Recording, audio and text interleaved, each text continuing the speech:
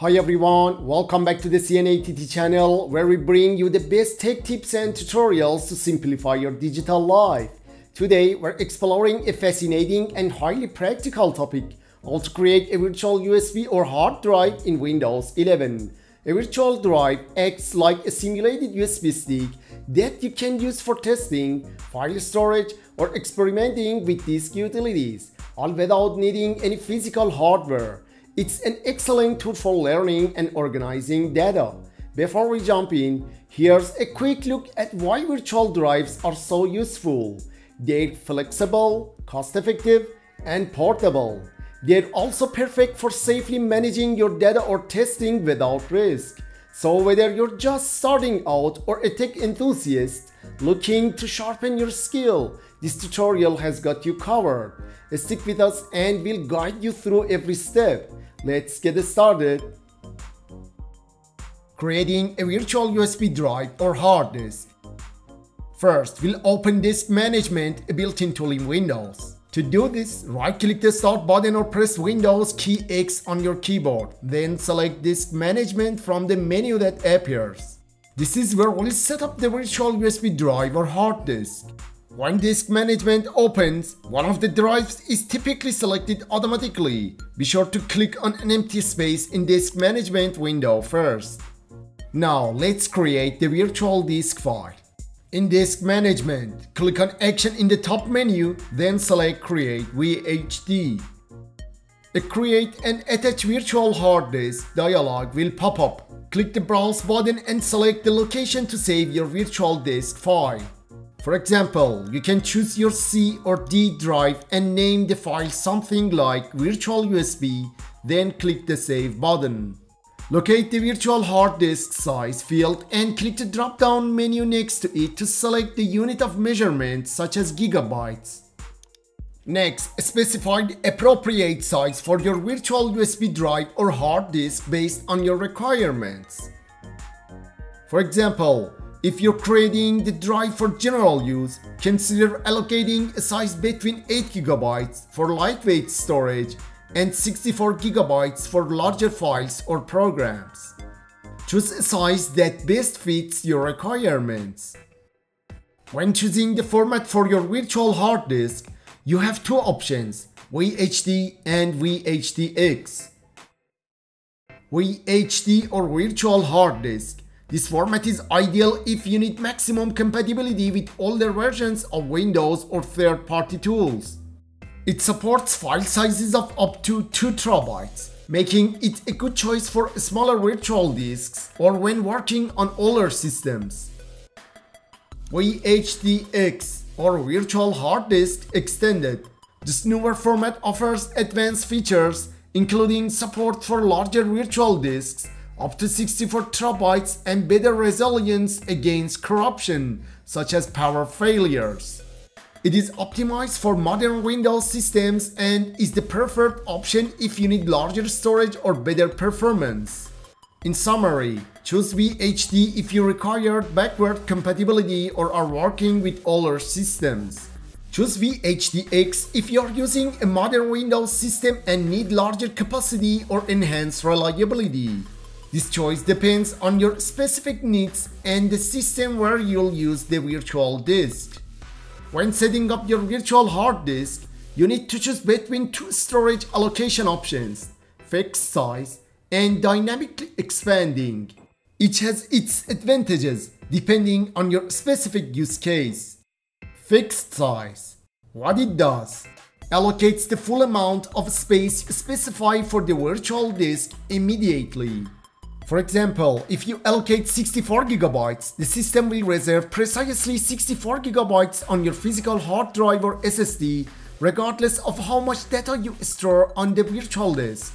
Advantages Offers better performance because the disk size is pre-allocated and doesn't need to grow dynamically. Useful for scenarios where you want predictable disk usage and to avoid running out of space.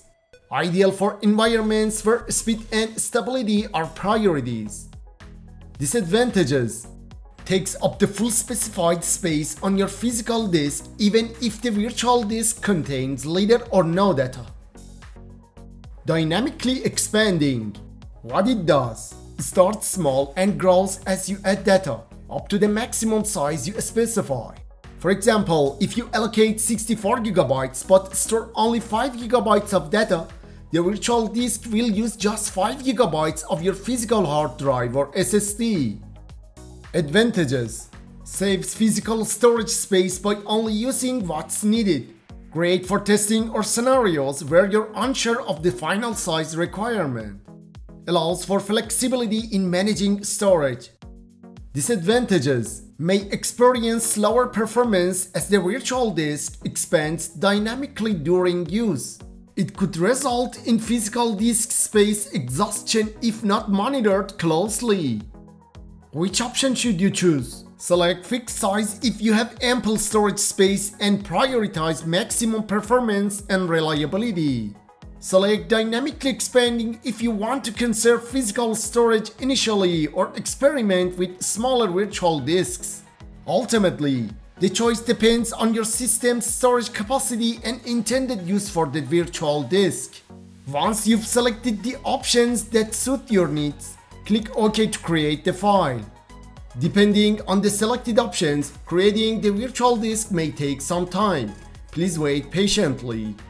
The virtual disk is now created, but it's not ready to use yet. In Disk Management, find the new disk labeled Not Initialized. Right-click on it and select Initialize Disk. In the prompt, choose either MBR for compatibility or GPT for larger capacities or modern systems. MBR Master Boot Record ideal for older systems and supports disks up to 2 TB with up to 4 primary partitions. GPT GUID Partition Table designed for modern systems supports disks larger than 2 TB and allows more partitions with better reliability. Once you've selected the option that suits your needs, click OK to complete the initialization. Now we'll format the virtual disk to make it usable. Right-click the unallocated space in the virtual disk and select New Simple Volume. Follow the wizard to set up the new volume. Partition size. By default, the wizard will use the full size of the virtual drive. If this meets your needs, leave the default settings and click Next.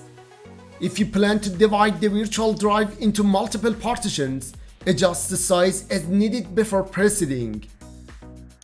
Drive letter. Assign a drive letter. Windows will suggest one automatically, which you can usually accept unless you have specific preferences. Format the partition.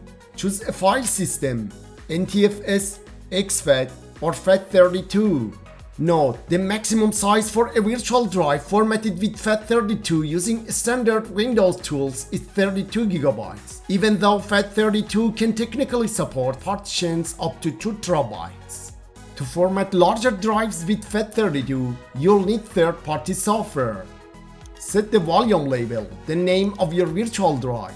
Choose a simple descriptive name like virtual drive, which will appear in this PC aligned with the assigned drive letter. To speed up the setup process, keep quick format selected and click next. Complete the wizard, click finish and your virtual drive will be ready to use. If you plan to partition your USB drive into multiple parts and didn't allocate the full size of the drive for the first partition, right click on the unallocated space in disk management select New Simple Volume and create another partition. Once complete, your virtual drive will appear in File Explorer like any physical USB drive. You can now copy files to it, use it for backups or test disk utilities. Detach and reattach the virtual drive as needed. To detach the virtual drive, go back to the disk management right-click the virtual disk and select Detach VHD. A confirmation message will appear. Click OK to confirm. After detachment, the virtual drive will immediately disappear from File Explorer.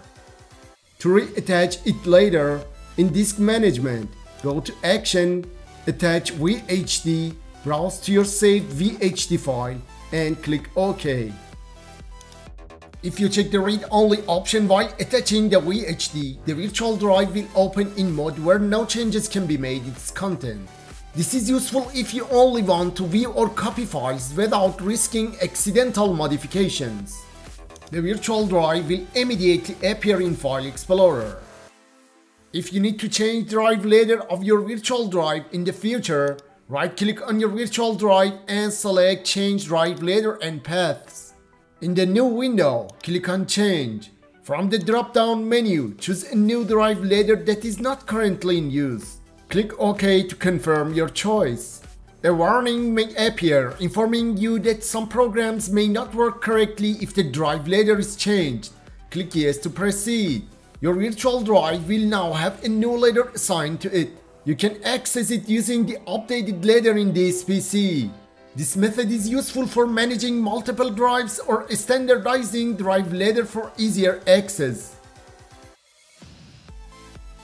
Advantages of using a virtual drive Flexibility Virtual drives allow you to create storage solution tailored to your needs, whether for testing, backups, or organization.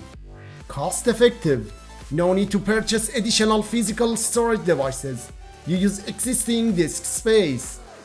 Portability Virtual drives can be moved between systems or shared easily without requiring a physical device. Data safety Testing and experimentation on a virtual drive reduces the risk of damaging critical data on your main storage. Efficient space management Dynamically expanding drives save physical space by only using as much storage as necessary. And there you have it. You've successfully created a virtual USB or hard drive in Windows 11. This versatile tool can help you with testing, organizing files, and managing data safely, all without needing any additional hardware. If you found this tutorial helpful, please give it a thumbs up and share it with others who might benefit. Don't forget to subscribe to the CNATT channel for more tech tips and tutorials like this. Have any questions or suggestions for future topics? Drop them in the comments below. We'd love to hear from you. Thanks for watching and I'll see you in the next one.